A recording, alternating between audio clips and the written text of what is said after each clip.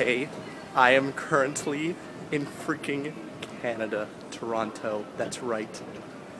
They're so attractive. Oh my god. Welcome to day one of Evan Explores England. That's gonna be my alliteration tag for all my Tumblr posts where I'm exploring England. Look at the view. Look at the view. Look at that. Look at look at the freaking buildings. It's fancy, right? Oh my, it's crazy. My room is is uh is here, and you might be like, "Hey Evan, where's all your stuff? Where's is that it? Just just that? N- yeah. Uh, so here's the sitch.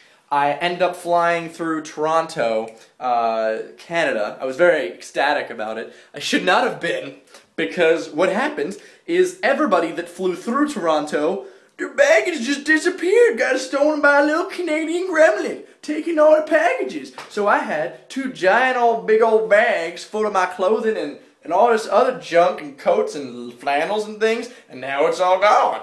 I waited for an hour, just sitting at the airport, and the guy's like, "Don't worry, your baggage will come." Me and the other six people that were like, "Oh God, Toronto," and now I don't have my baggage. So they said they'll ship it to us when they find it.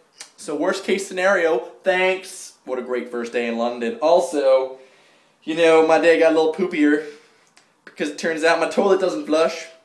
Found that out right after I pooped. Ah, why, why do I have the worst luck, you know? Uh, so, it, it's still fancy. Look at this, this pretty red showery thing. I don't even know. Uh, so that's my first day in London so far. I'm gonna go out and uh, walk around, get some food, hopefully open a bank account. I can't use my cell phone at all because I still canceled my AT&T plan and I don't have anything because they won't let me unlock it for the frigging two weeks. Anyway, I'm gonna go do some things, hopefully feed my face. So thanks for watching. Stay tuned for more England updates. Evan Explores England. I will see you guys next time. Good